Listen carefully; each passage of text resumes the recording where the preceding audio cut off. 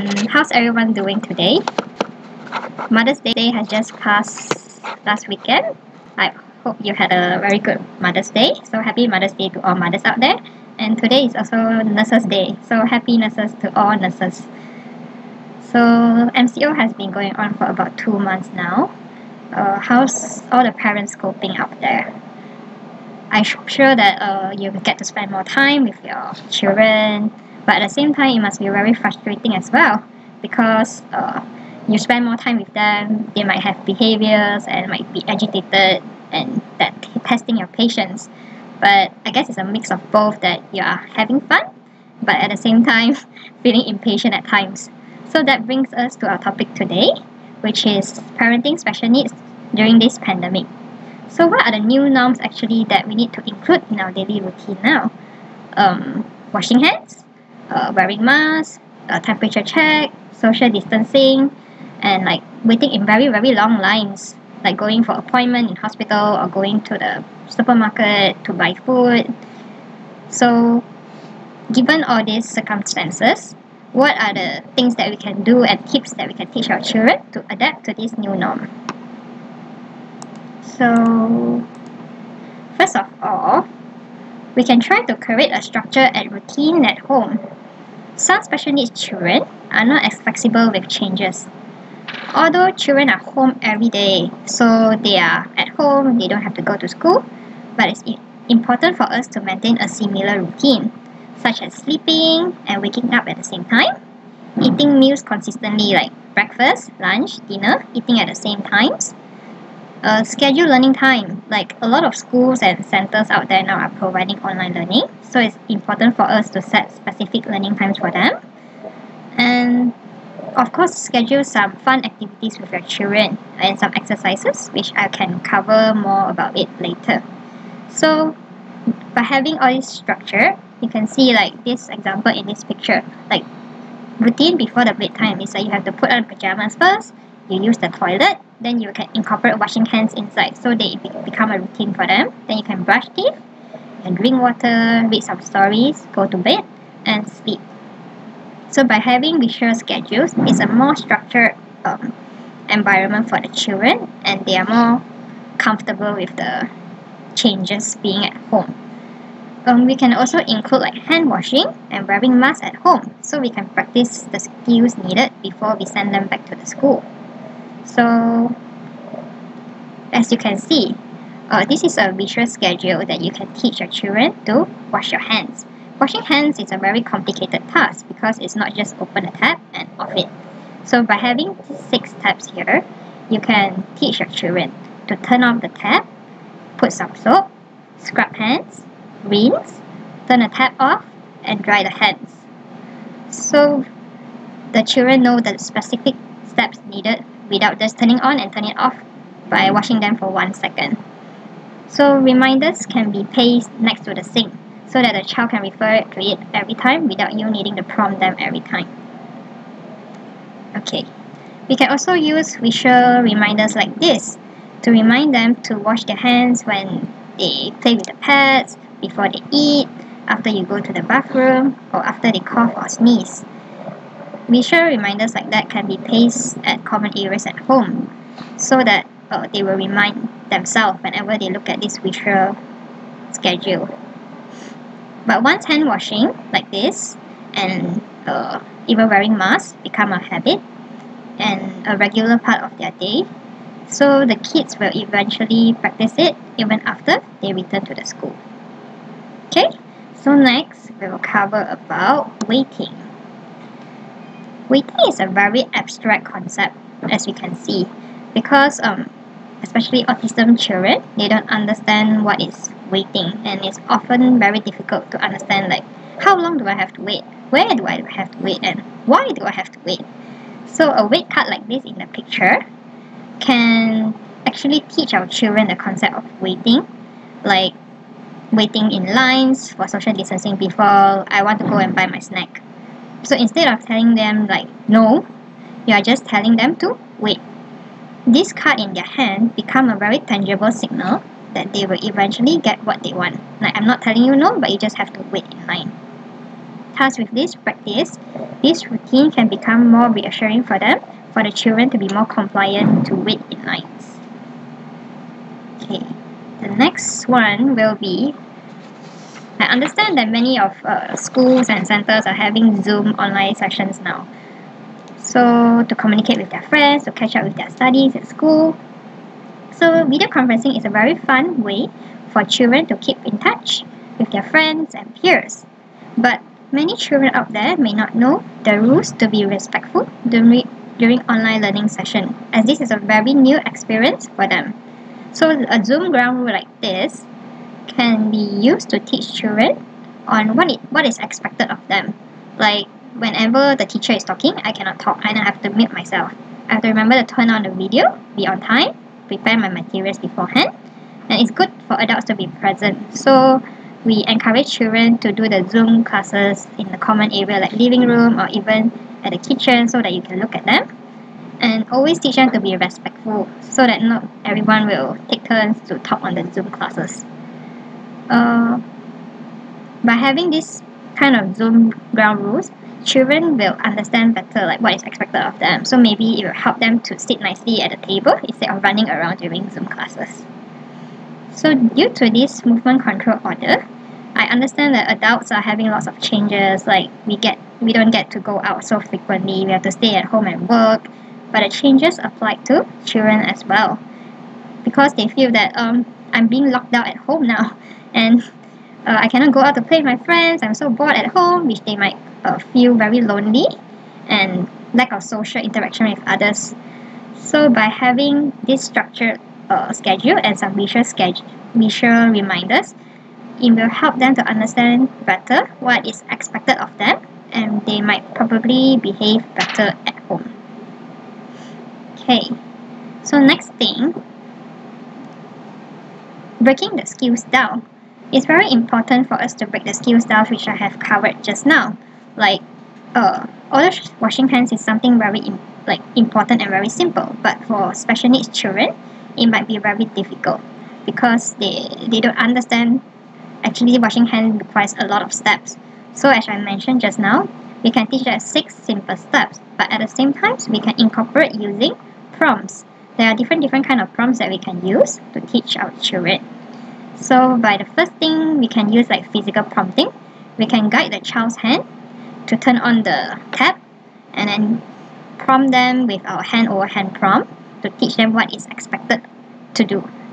But if by by the time they are able to get the idea, we can move on to like modeling prompts. So it's like a parent demonstrate how to scrub their hands by scrubbing their hands in front of their child so that they can learn and see and do it together with them. Once the child master it, we can do like verbal prompts. Verbal prompts can be like telling specifically what to do. Okay, just tell them, okay, turn on the tap, get the soap, have scrub now, can rinse, and turn the tap off. And the less intrusive one will be gesture prompts, like you can just point to the soap there, and point to the tap without needing to tell them. But it's very important for us to teach them step by step by breaking the skills down and until they mastered the skill in total. How about wearing masks? I'm sure parents are like puzzled how do I get my children to wear masks because a lot of children who has uh, issues with sensory processing might find it very very difficult to get their children to wear masks. So we can also try to break the skill down like this. So like having mask in front of the child but not touching it first. And then we can touch the mask to the child's arm and then eventually move to the neck and then slowly you can move to the chin or mouth and then wearing the mask for 5 seconds and 10 seconds and the duration can go on longer. So we do this by slowly increasing the proximity and duration of the mask on each children's face. So by doing breaking the skills down, we can also pair it with positive reinforcement. So the goals are very simple as we can see during this uh, pandemic we want them to be more comfortable in wearing masks and we want them to uh, wash their hands frequently and maybe before they go anywhere they have to get their temperature checked but how do we uh, encourage them to do it more is by having positive reinforcement. So children can be rewarded immediately with a strong reinforcer they enjoy. Like you can practice uh, this and then praise them for their effort and being cooperative. Like good job um, you cooperate and you're willing to wear the mask for five minutes today then after that we can include their favorite snack like toys even hugs for them like anything that they prefer. The goal is for children to be comfortable with all these changes but be be very like mindful to we try to reinforce every small step. Like just now when we put the step down each step they are able to comply and follow we can reinforce instead of just reinforcing the final result okay next. As we are all very familiar with social stories because social stories help us to uh, teach our children about new changes and what is expected of them like in this current pandemic. Like why is it needed for us to wear masks and why is it needed for us to wash our hands frequently? So I have an example of social stories like this. It's a very general one that uh, teach kids like everyone gets sick sometimes the coronavirus makes people sick it is caused by germs but germs are very very tiny and we cannot see them Germs can make people feel sick. When people get sick with the virus, they usually feel bad. They feel like they have a cold or a flu, they might have a fever, they might have problems with coughing or breathing. Many people are getting sick from coronavirus. So this is a very general one, basic, so uh, our children can understand better what is coronavirus. There's also another one which I found that teach about social distancing. So this says like when lots of people are sick, Social distancing can help me to stay healthy. Social distancing means staying away from busy places and other people. Activities, events, or school may be cancelled to keep people healthy. So I may not be able to do my normal activities. I may need to stay at home so I can stay healthy. Or I may get upset or frustrated about not being able to do my normal activities. But it will be okay, and I can find other fun things to do at home it may take a few weeks before I can go back to my normal activities. Actually, there are many social stories out there. Um, you don't have to create it by yourself. Or you just have to Google social stories like social distancing, washing hand, wearing masks, and you can. There are even YouTube social stories. So for kids that are not able to read, you can just play the YouTube video for them to watch the social story. Okay, next one.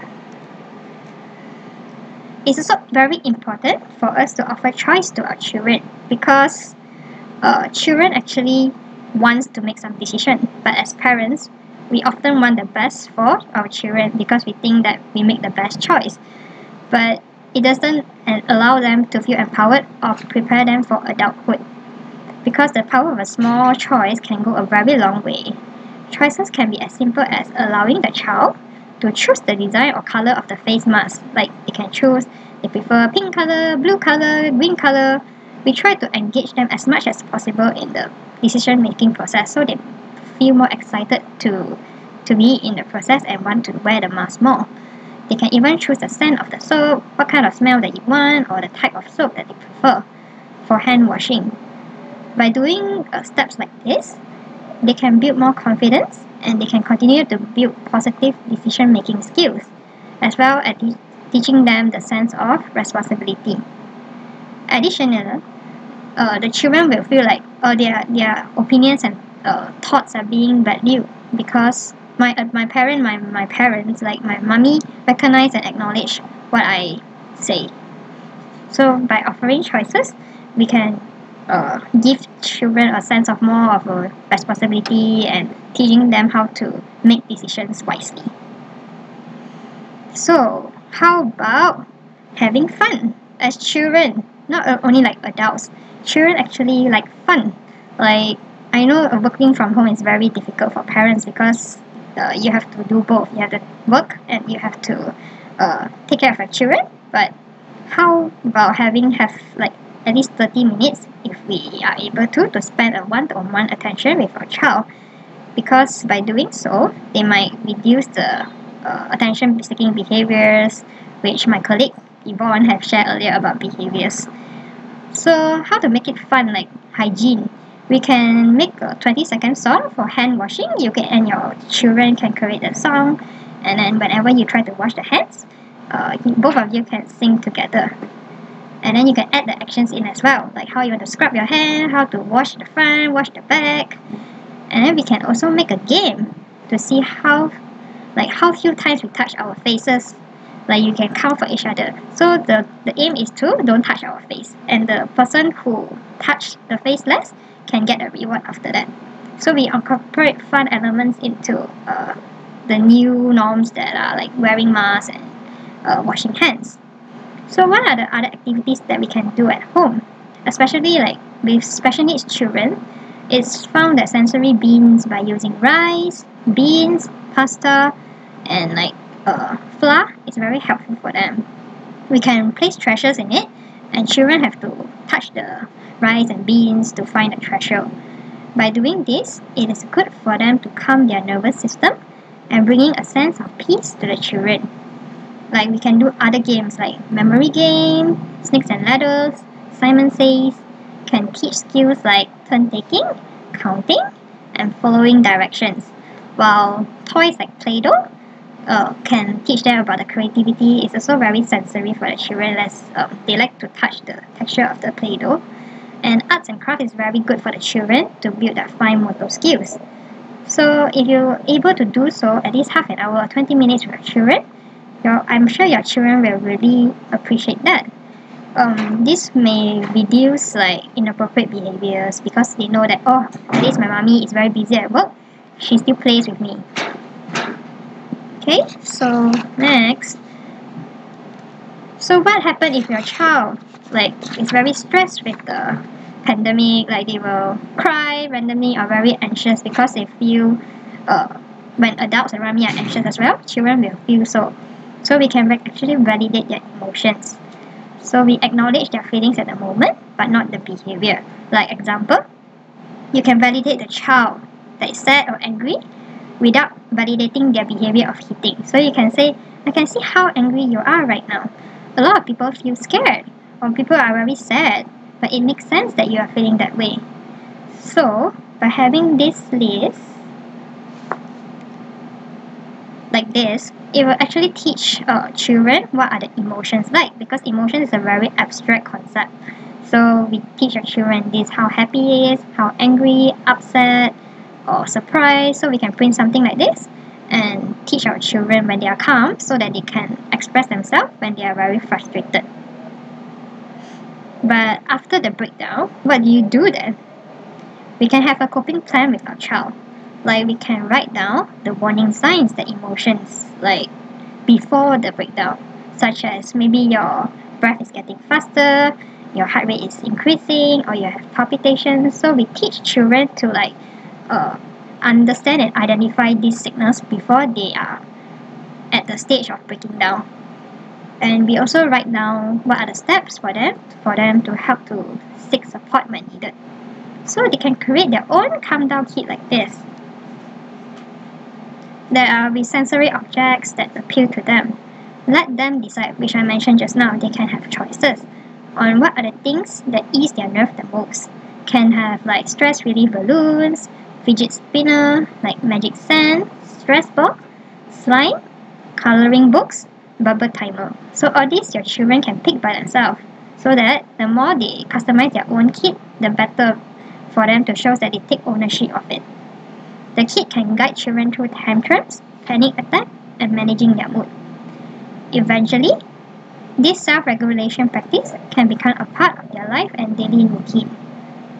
And one final part which I would like to say that it's actually parents. You are very important because you are a role model for your child. If you practice keeping safe distance and hygiene, like you don't go out unnecessarily and you wash your hands frequently, your child will learn from you. Because uh, our children, they, they look at us and see us as a model at home. So when you treat others with compassion, especially those who are sick or vulnerable during this pandemic, like there are a lot of people are not able to work now because of the pandemic. Uh, you can donate money or donate food to them. Your children will know that and they might have that in their heart and do the same as well. And it's very important to take good care of yourself so you can support your children. You can practice self-care skills uh, like relaxation techniques which my colleagues have shared earlier, like Hazel or Sarah. they have teach about how to do deep breathing, grounding, uh, mindfulness techniques, which uh, you can try to listen and learn so that you can calm yourself better when you feel frustrated or impatient. But remember that you are not alone in this because many people have the same fear as us. So find someone who you can talk to about how you are feeling and avoid social media that makes you feel very panicked because sometimes there are very uh, nervousing or and, and anxiety provoking news that make you even anxious. So when your children have to adjust to a new routine or they are sensing anxiety around them, it is very normal that their progress may regress. But try not to overwhelm yourself by attempting to recreate all the service that your children are attending, like tuitions or therapy or like school teachers, because it's very difficult for you to do so at home. So you can just do the best with what you can and what materials you have.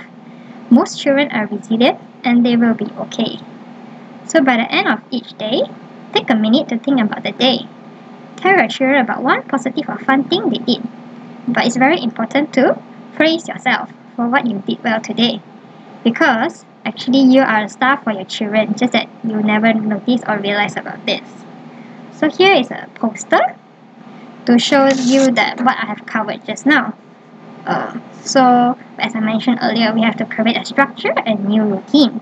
Like visual schedule, visual reminders to remind our children. Then we can break the skills down, like teaching them small steps, increase the proximity and duration of masks or hand washing and lining up. And after that, we reinforce their behavior. So we have to reward immediately and we set clear goals so that the child understands what is expected of them.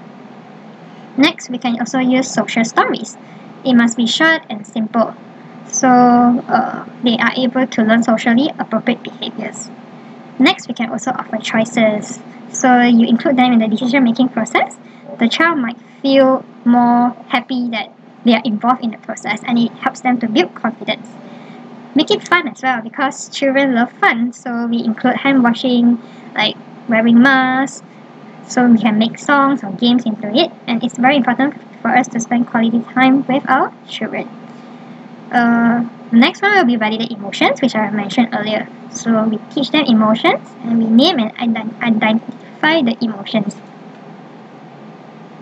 And then the coping plan is to calm down kit and what are the warning signs. And the last last last part which I mentioned is about role modeling and take good care of yourself so that we can set realistic expectations and don't expect too much from our children. So I guess that is mainly the presentation I have. I will go through the questions now and see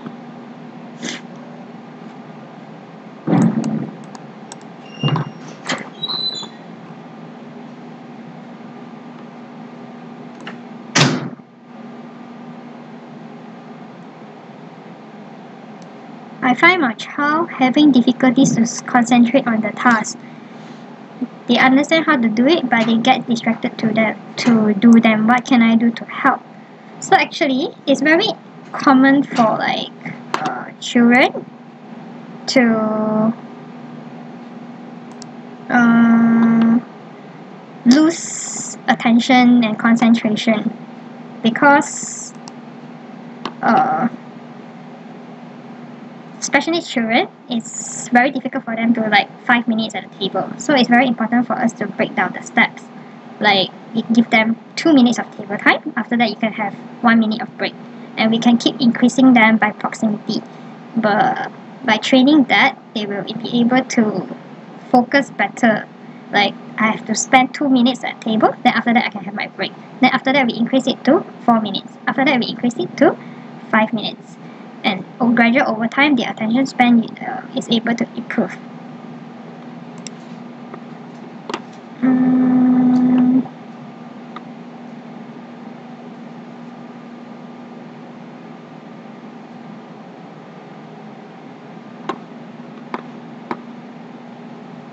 My boy keep tapping his tummy. Any reason? This one we have to understand better why is your boy actually tapping the tummy. Like is there any reasons uh, the behavior behind? So I have to understand better like why is my my boy keep tapping his tummy? Is he feeling anxious or is he feeling hungry? So by identifying the behavior at the first place it will help you with the intervention after that. But if it's like a attention seeking behavior we can try to uh, redirect them to something else. Like instead of tapping tummy I can redirect them to playing with a toy car or playing with a stress ball to redirect their attention so let's see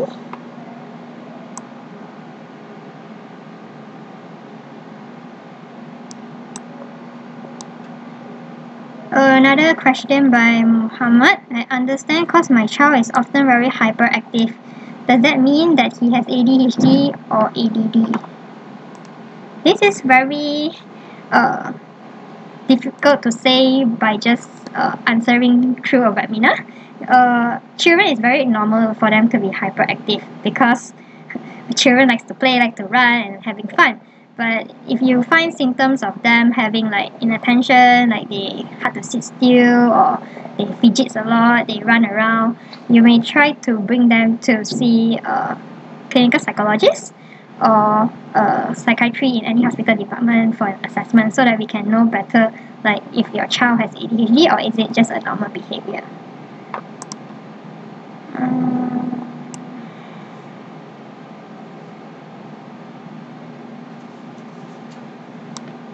Okay, so I guess that's all for the questions for today.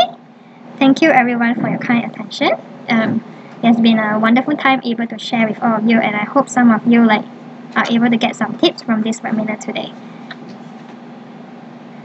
Tomorrow at 10 a.m. we have another webinar and we will be doing this for the whole month so please stay tuned for more webinars this week. Okay, bye!